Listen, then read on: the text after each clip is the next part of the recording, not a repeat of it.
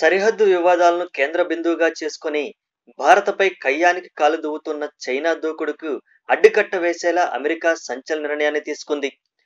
భారత్కు మిత్రదేశంగా గుర్తింపు పొందిన అగ్రరాజ్యం చైనా అధికారులకు నో ఎంట్రీ బోర్డు పెట్టింది. చైనా అధికారులు తమ దేశంలో పర్యటించడానికి అనేక ఆంక్షలు విధించింది. వారికి జారీ చేయాల్సిన డిప్లొమాటిక్ సహా వీసాల నిబంధనలను మరింత కఠినతరం చేసింది. ఈ విషయాన్ని American secretary for states Mike Pompeo వెల్లడించారు. పీపుల్స్ రిపబ్లిక్ ఆఫ్ చైనాకు చెందిన అధికారులు తమ దేశ పర్యటనకు రావాల్సి వస్తే తాము సూచించిన నిబంధనలకు లోబడి ఉండాల్సిందేనని స్పష్టం చేశారు. Reciprocal access to Tibet act two thousand eighteen ప్రకారం వారికి జారీ చేసే వీసాలపై ఆంక్షలను విధించినట్లు కూడా తెలియజేశారు.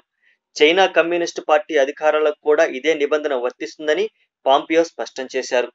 టిబెట్లో పర్యటించదలిచిన తమ దేశ అధికారులు జర్నలిస్టులు పర్యాటకులు చైనా ప్రభుత్వం అనేక ఆంక్షలు విధిస్తోందని దీన్ని దృష్టిలో ఉంచుకొని తాము ఈ తాజా నిర్ణయాన్ని తీసుకున్నట్లు చెప్పారు. ఇప్పటికే చైనాకు చెందిన యాప్లను నిషేధించే దిశగా చర్యలు తీసుకోవడానికి సిద్ధపడుతుంది అమెరికా. భారత్ తరహాలోనే టిక్ టాక్ సహా చైనాకు చెందిన కంపెనీలు డెవలప్ చేసిన ఏ ఒక్క యాప్ను కూడా తమ దేశంలో వినియోగించడానికి వీలు లేకుండా చేస్తామంటూ పాంపియో వెల్లడించిన విషయం తెలిసిందే. ఆయన ఈ ప్రకటన చేసిన ఇరవై నాలుగు గంటల్లోనే తాజాగా చైనా అధికారులపై వీసా ఆంక్షలను విధిస్తామని ప్రకటించడం ప్రాధాన్యతను సంతరించుకుంది. టిబెట్ ప్రాంతాల్లో చైనా మానవ హక్కుల ఉల్లంఘనకు పాల్పడుతోందని మైక్ పాంపియో చెప్పారు.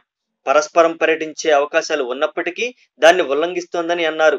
ఈ విషయంలో చైనా పాలకుల వైఫల్యం స్పష్టంగా కనిపిస్తోందని పేర్కొన్నారు.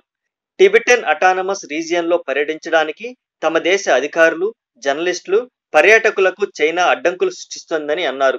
అదే సమయంలో చైనా అధికారులు మాత్రం తమ దేశానికి స్వేచ్ఛగా రాకపోకలు సాగిస్తున్నారని చెప్పారు. చైనా అధీనంలో ఉన్న టిబెట్ ప్రజలకు తాము నైతికంగా మద్దతు ఇస్తున్నామనే విషయాన్ని మైక్ పాంపియో మరోసారి స్పష్టం చేశారు. అమెరికా మద్దతు టిబెటన్లకు ఎప్పుడు ఉంటుందని కూడా ఆయన తెలియజేశారు.